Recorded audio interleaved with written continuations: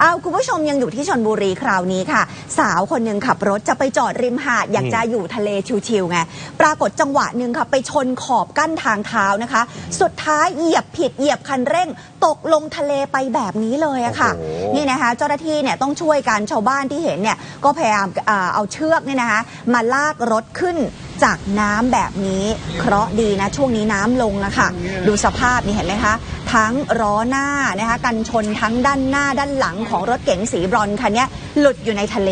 หลังจากเกิดอุบัติเหตุพุ่งตกลงไปในทะเลค่ะ ซึ่งเป็นเขื่อนกันคลื่น ริมหาดบางสะเสร่อำเภอสัตหีบ จังหวัดชนบุรีนี่ชาวบ้านนะคะก็พากันมายืนดูรถเก๋งค่ะ หลังเกิดเหตุเนี่ยคนขับเดินออกจากรถไปโทรศัพท์ เพื่อจะขอความช่วยเหลือจากกู้ภัยนะคะ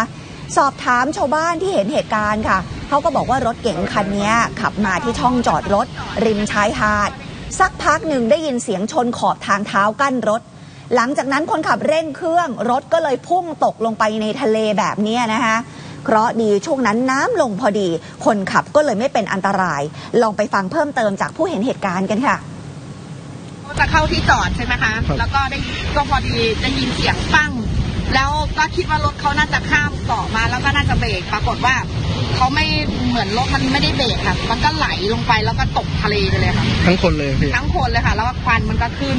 ก็เลยเรียกให้เขาออกมาก่อนดี แต่ว่าเจ้าของรถไม่เป็นอะไรครับเบื้องต้นนะคะ เจ้าหน้าที่กู้ภัยก็นำรถยกมาเคลื่อนย้ายรถคันนี้ขึ้นจากทะเลเป็นที่เรียบร้อยแล้วนะคะ